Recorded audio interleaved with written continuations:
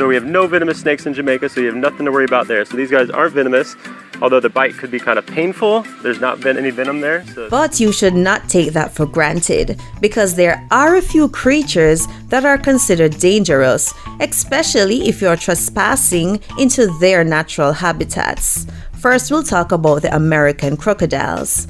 Although Jamaicans have the tendency to refer to these large reptiles as alligator, in truth, they're actually crocodiles. Notably, the largest reptile in the island, the American crocodiles, are usually found on the southern coast of the island. These large lizards prefer brackish waters and are found in mangroves